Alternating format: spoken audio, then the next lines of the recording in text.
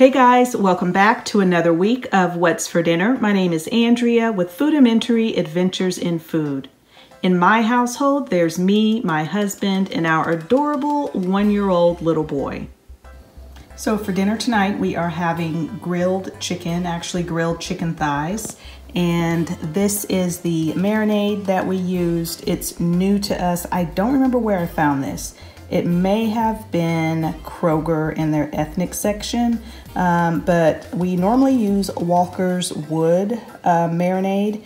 And this one was also made in Jamaica. Some of you may know that Howard is from Jamaica, and whenever I see Jamaican made products, I get them. So we're gonna be trying this out and let you guys know what we think about it. We are also having some sweet corn from Trader Joe's.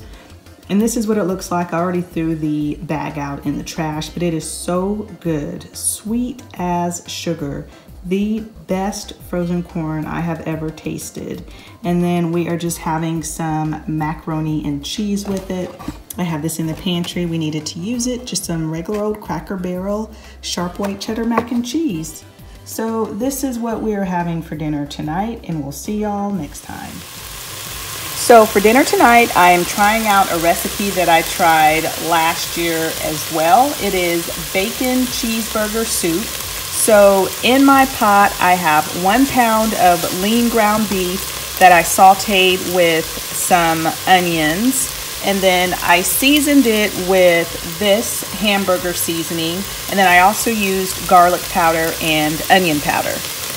To the mixture, I'm getting ready to add in some cheddar cheese soup, Campbell's cheddar cheese, and cream of bacon soup. Now this is, I'm not gonna lie, this is kind of hard to find. I used to be able to find it easily at the grocery store. Now, one of the only places that I've seen it is at the Dollar General. Um, so if you don't have cream of bacon soup or can't access it, I'm sure that cream of chicken or cream of mushroom would work as well. So I've got that in there. Adding two cups of milk.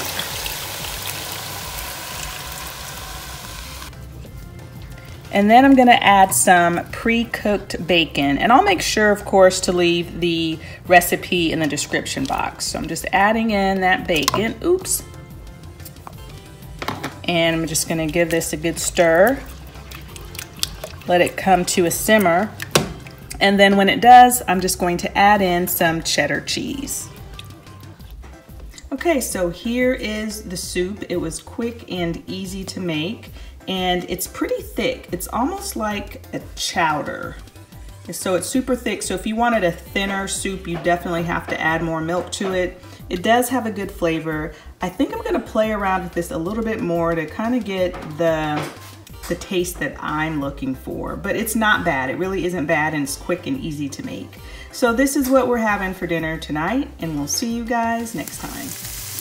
Hey, so today I'm trying out a recipe that I did try, I guess it's been a couple of months ago, and last time I made it, I said I was gonna make some changes to it. It's a sausage rice skillet. So in my skillet, I have one pound of hot breakfast sausage that I've already cooked, and to it, I'm going to add one package of the Lipton noodle soup and then also one cup of jasmine rice. So last time I made it, I thought there was way too much rice in it. It kind of took away the flavor. So the next time I said that I made it, I was going to add half the amount of rice and half the amount of liquid. So I am only adding, like I said, one cup of rice and then two cups of water. The original recipe was four cups of water and two cups of rice. I think if you do decide to stick with the original recipe, then I would double the amount of meat that you put in this dish. So I'm gonna stir this up really well and then I'm gonna cover it and let it cook for about 20 minutes or so or until the rice is done. Okay, so here it is, and I like it a lot better with less rice and less water. So I'll link the original recipe in the description box and I'll just um, include a note about you know, how I did it a little bit differently, but it's really, really, really flavorful. With it, I am just serving some canned green beans and I had some frozen chopped onion that I add to, added to them, garlic powder, onion powder, and a little bit of seasoning salt. So this is what we are having for dinner tonight and we'll see y'all next time. Hey guys, so for dinner tonight, Howard and I are having a date night. There is no Harrison. We went to a Chinese buffet. So this is Howard's plate. This is round one. He's got a bunch of stuff on there. Can't even name it all. And then he is trying some spicy fish soup. And then this is my plate. I got a bunch of stuff too. And then I have some hot and sour soup. So Chinese buffet is what's for dinner tonight. So for dinner tonight, we are eating from our freezer. Howard grilled some pork steaks for us, and here they are. And then I made some fried rice and green beans. So this is a fried rice seasoning that I use right here. Um, and I just follow the directions on the package. I add bacon, a green onion, you name it, I add it, whatever it says there.